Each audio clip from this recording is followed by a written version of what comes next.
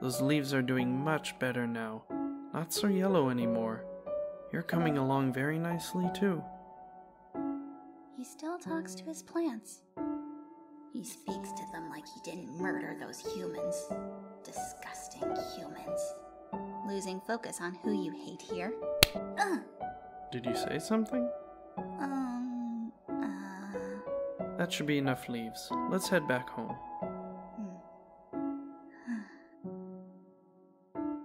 Frisk? I'm a bad kid. Frisk, what brought this on? If this is about whatever has happened. I attacked another kid at school today, Dad. Now, regardless of what happened, I'm sure there was a reason that does not make you a bad. No. I got angry, and I know what you're going to say. It was an accident. But it wasn't. I really hurt him. I wanted him to hurt. I wanted to make him suffer. If someone hadn't stopped me. And you'll say, nah, that's not who you really are. But do you really know that?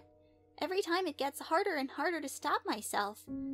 Can't wait for the day when no one is around to stop me. Just can't seem to stop hurting people, it seems. Even when I think I'm doing something for the greater good, someone has to suffer. So.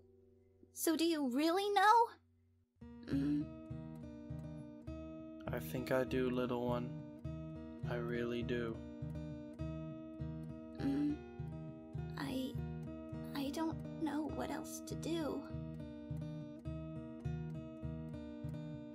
Funny how much you remind me of them. Of who? Chara, my other little one. I do? Oh, yes, very much so. Not just in appearances. Now, why don't we go start up that tea? We have much to talk about. Hmm. Dad, now that you mention them, what was Chara like? I will never forget the day they fell down into the underground. Asriel had been playing in the ruins when he found them. When they first arrived at our home, they were quiet, reserved. Really, they hardly spoke out at all. After recovering from their fall, it still took some time for them to come out of their shell.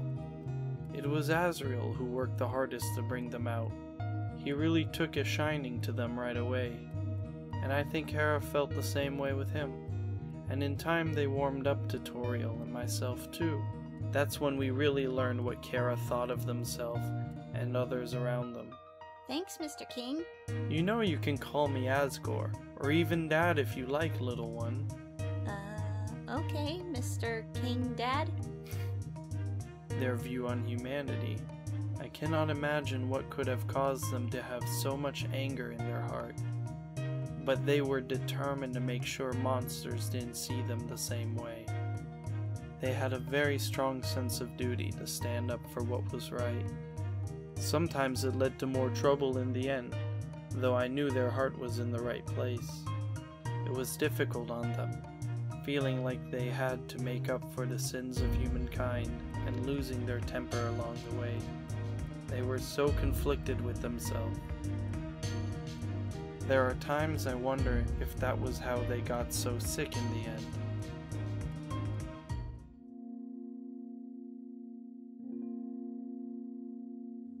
So, Chara had it pretty tough.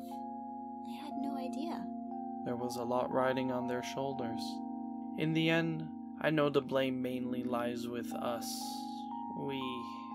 I. had put so much pressure on Chara, always saying that they were the future of humans and monsters. I often forgot they were just a child. The burden of being future of monsters shouldn't have all been on them alone. And even now, I very well might be doing the same thing to you. A job like ambassador shouldn't fall onto a child. Dad, no, this isn't your doing. None of this is your fault. Besides, I accepted the position and I want to keep doing it. This. what's been happening. is on me. It's been snowballing ever since we left the underground. Hmm? Let's say that you had an ability to undo everything you did. Any good thing, any bad thing, and no one would remember afterwards. Would you use it? Hmm. The chance to undo every single thing I've done, every atrocity I've ever committed erased. That would sound like an ideal power to have, wouldn't it? After all, I've done deplorable things in the past. Reversing that would probably be something I would have wanted back then. But even for the sake of argument, that the ability was real, I don't think I could ever bring myself to use it. Right now I am content. My people have finally reached the surface after so many years being trapped in the dark. And now we have the sun and the stars. My family's safe and happy, and I have this cabin surrounded by nature and quiet. There isn't a thing I would change. Not even if you could go back to stop yourself from taking those human souls? But why? Because, little one, I'm afraid that's not how life is supposed to work. I made my bed with those choices of mine, and now I must lie in it. These are the consequences of my actions. Not even an old king like me should be free of those. Only looking at the past isn't healthy, Frisk. If you only think about what you could have done before, you'll miss the chance to decide on what you want to do now. If you have the determination to, you can learn from your past mistakes instead of running from them. Become the person you want to be here and now when it really matters. Hmm. Yeah, you're right. We shouldn't be running or looking back anymore. And there's something that I should tell you. The reason why I mentioned the power to undo everything. It's. It's actually. I'm. there. I can. Frisk, what's wrong? Are you alright? Um, I think I need a minute. I don't understand, little one. Maybe. Just a minute. I promise. What do you want now, Chara? I am done waiting, Frisk, and your 48 hours are up. Frisk, hold on. What is. Howdy, Toriel. I'm afraid now might not be. Frisk? Actually, yes. They came to my home to. Well, they seem. You've been ignoring my warnings long enough, Frisk. I'm done watching you play around. So if you don't wrap it up and reset, I'll force you to. You done? Or do you plan to keep monologuing for a bit longer? Depends. Are you still planning on giving me the attitude again? Hmm. Nah, I had my fun. You win. Let's reset. Right now.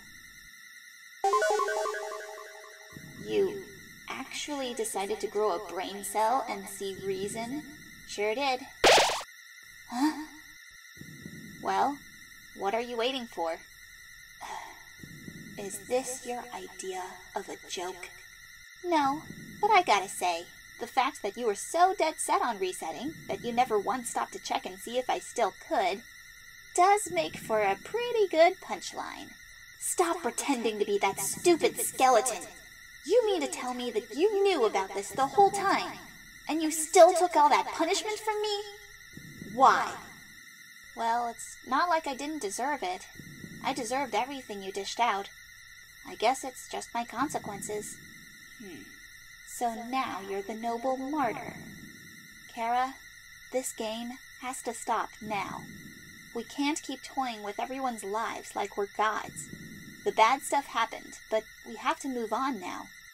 It's like what Dad said obsessing over the past isn't healthy. He's not your dad! What? Is that what this is about now? Because that's another thing. Your motivation for all of this is about as straightforward as a hedge maze. You punish me for killing, but then you want to go back and finish the job. You get angry about resets when that's exactly what you want me to do, anyways. And then when I try to finally come clean about it, you always stop me, even though you want me to admit what I've done. And to top it off, out of nowhere, you don't want me to call Asgore Dad? Don't act like you know. Oh, I know all right. Either you're the world's biggest hypocrite, or you're so hell bent on being angry at me that you've forgotten what you were even angry about in the first place. Be angry at me if you really have to, but leave them out of this. it's your fault for bringing them into this. So you want to know why I hate you so much? Why I'm so angry and want to erase them all? It's because of you. You corrupted them all in the first place with your 123 resets. And now they're all beyond saving. So, since you've decided to be difficult, I guess we really are doing things my way. Let's start by getting back that other half of our soul. You wouldn't! No! You can't! you don't have a choice anymore. Frisk, your mother would like to speak to you? Frisk! thank you